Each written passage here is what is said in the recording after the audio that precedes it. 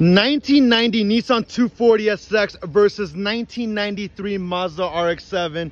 What sounds better?